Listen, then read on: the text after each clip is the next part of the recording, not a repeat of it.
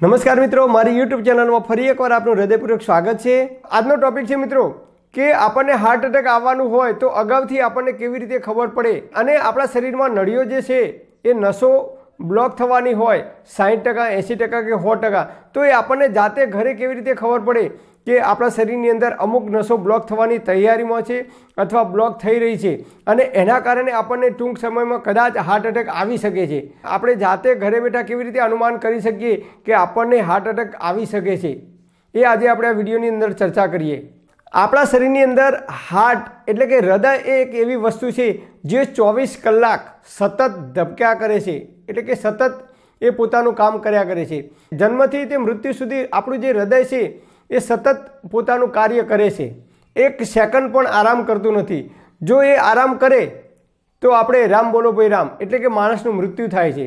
એટલે હૃદય છે, એ એક એવી વસ્તુ છે આપણા શરીરની અંદર, એક એવું અંગ છે કે જે સતત ચોવીસ કલાક પોતાનું પમ્પિંગનું કામ કરે છે જે લોહી પહોંચાડવાનું કામ કરે છે, એ સતત ધબકતું રહે છે.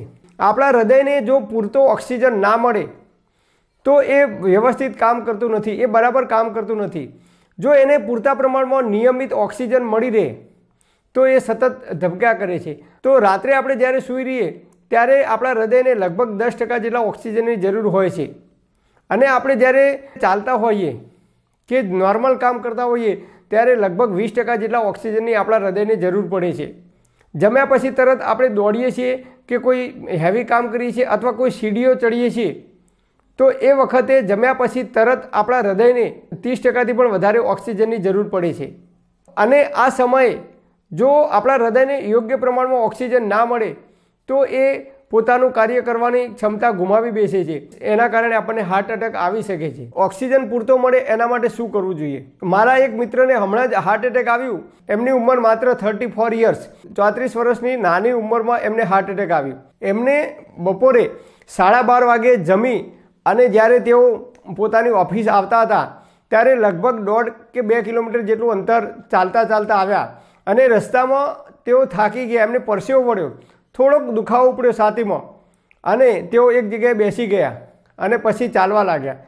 અડધો કિલોમીટર ચાલી અને પછી જ્યારે તેઓ સીડી ચડવા લાગ્યા પોતાની ઓફિસ તરફ જવા માટે, ત્યારે એ સીડી ચડતા ચડતા એમને હાર્ટ એટેક આવ્યો.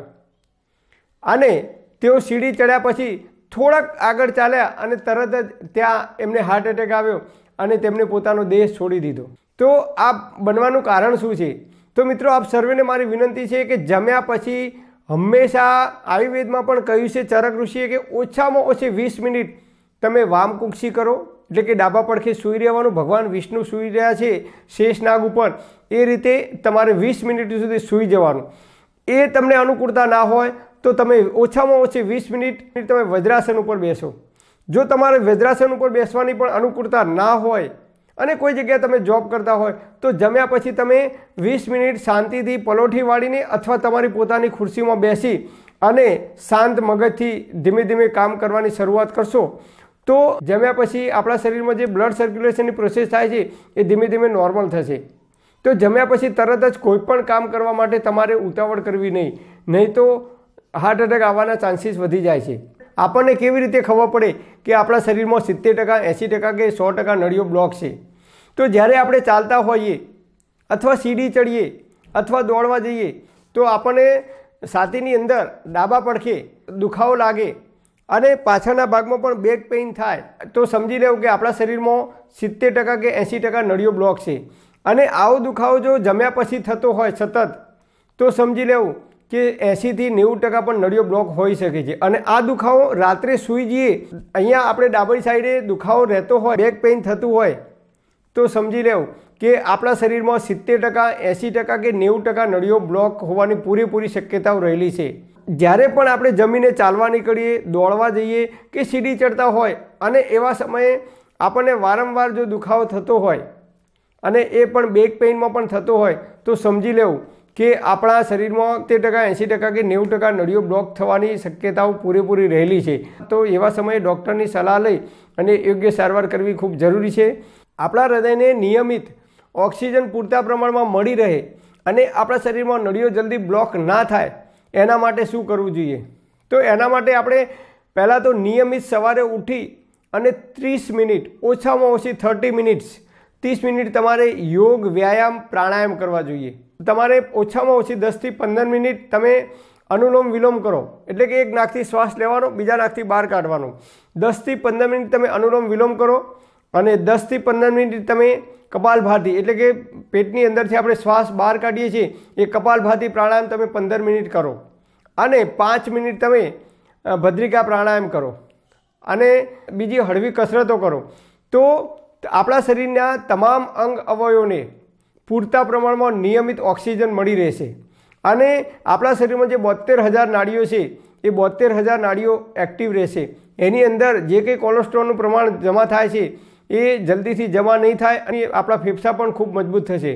અને નિયમિત આ ત્રણ પ્રાણાયામ તમે કરશો, તો શરીરમાં કોઈ જગ્યાએ ગાંઠ નહીં થાય. અને જો ગાંઠ થતી છે, તો એ ધીમે ધીમે દૂર થઈ જશે. અને ગાંઠ થઈ છે, તો એ કેન્સરમાં પરિવર્તન નહીં પામે.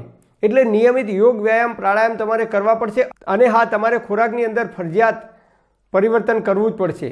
બહારના તમે જો તીખા તળેલા નાસ્તા કરવાની ટેવ હોય, તો એ તમારે બિલકુલ બંધ કરી દેવી પડશે. અને જંક ફૂડ, એટલે કે પેકિંગવાળા તમે ખોરાક ખાતા હોય, તો એ પણ તમારે બિલકુલ બંધ કરી દેવા પડશે. અને રાત્રે તમારે ક્યારેય ભારે ખોરાક ખાવાનો નહીં. રાત્રે હંમેશા ખીચડી, દૂધ કે એવો સાદો ખોરાક જ તમારે ખાવાનો રાખવો પડશે. જો તમને આ રીતે સાતીમાં દુખાવો થતો હોય અને તમારી નળીઓ બ્લોક હોય, સિત્તેર ટકા એંસી ટકા કે નેવું ટકા, તો તમારે રાત્રે કોઈ દિવસ ભારે ખોરાક ખાવાનો નહીં. બિલકુલ હળવો ખોરાક જ ખાવાનું રાખવું પડશે. રાત્રે તમારે સમોસા, કચોરી, દાબેલી, મંચુરિયમ કોઈપણ પ્રકારનું તીખો તળેલો ભારે ખોરાક બિલકુલ ખાવાનું બંધ કરી દેવો પડશે. હોટલમાં જમવાનું પણ બિલકુલ તમારે બંધ કરી દેવું પડશે. તો જ તમારી જે નળીઓમાં બ્લોકેજ છે, એ ધીમે ધીમે ખુલવા લાગશે. ભૂખ લાગે ત્યારે જ ખાવું અને ભૂખ કરતાં ઓછું ખાવું. અને રાત્રે જમ્યા પછી સવારે નવ વાગ્યા સુધી આપણે કોઈપણ પ્રકારનો નાસ્તો કરવાનો નથી કે કોઈ પણ ખોરાક લેવાનો નથી. તો આ રીતે આપણે જો નિયમિત દરરોજ ઉપવાસ કરીશું બાર કે પંદર કલાક સુધી, તો આપણા શરીરમાં જે કંઈ નળીઓ બ્લોક થઈ છે, એ ધીમે ધીમે એ બ્લોકેજ છે, એ કોલેસ્ટ્રોલ જો જમા થયો છે, તો એ ધીમે ધીમે ધીમે દૂર થવા લાગશે. અને નિયમિત હળવી કસરતો કરીશું અને ઓછામાં ઓછું સવારે મોર્નિંગમાં જો તમે પાંચ કિલોમીટર જેટલું અંતર ચાલી શકતા હો ધીમે ધીમે તો પાંચ કિલોમીટર જેટલું તમે અંતર ચાલવાનું રાખશો, તો શરીરમાં ચરબી વધારાની જે કેલરી જમા થઈ છે એ પણ દૂર થશે અને એના કારણે જો શરીરમાં ચરબી જમા થઈ છે કે શરીરમાં વજન વધ્યું છે, તમારા શરીરનું વજન પણ ધીમે ધીમે ઓછું થઈ જશે. તો તમારે આ પ્રમાણે જીવનશૈલીમાં પરિવર્તન કરવું જ પડશે. અને આ રીતે જો આપણે જીવન જીવીશું મિત્રો, નિયમિત હળવી કસરતો કરીશું, ભૂખ લાગે ત્યારે જ ખાવું, ભૂખ કરતાં ઓછું ખાવું, ફ્રીજમાં મૂકેલી કોઈપણ વસ્તુ ઠંડી ખાવી નહીં. પાણી પણ ફ્રીજનું પીવું નહીં. અને રાત્રે ક્યારેય ભારે ખોરાક ખાવો નહીં. રાત્રે હંમેશા ભૂખ કરતાં ઓછું ખાવું અને હળવો ખોરાક ખાવો. જો આટલા નિયમોનું પાલન આપણે કરીશું, તમે હું આપણે બધા, તો આપણે જ્યાં સુધી જીવીશું ત્યાં સુધી તંદુરસ્ત અને નિરોગી રહી શકીશું. અને હાર્ટ એટેક આવવાના જે ચાન્સીસ છે, એ ખૂબ ઓછા થઈ જશે. પરમપિતા પરમાત્મા આપ સર્વેને તંદુરસ્ત અને નિરોગી રાખે એવી હૃદયપૂર્વક મારી પ્રાર્થના. Thanks for watching my video thank you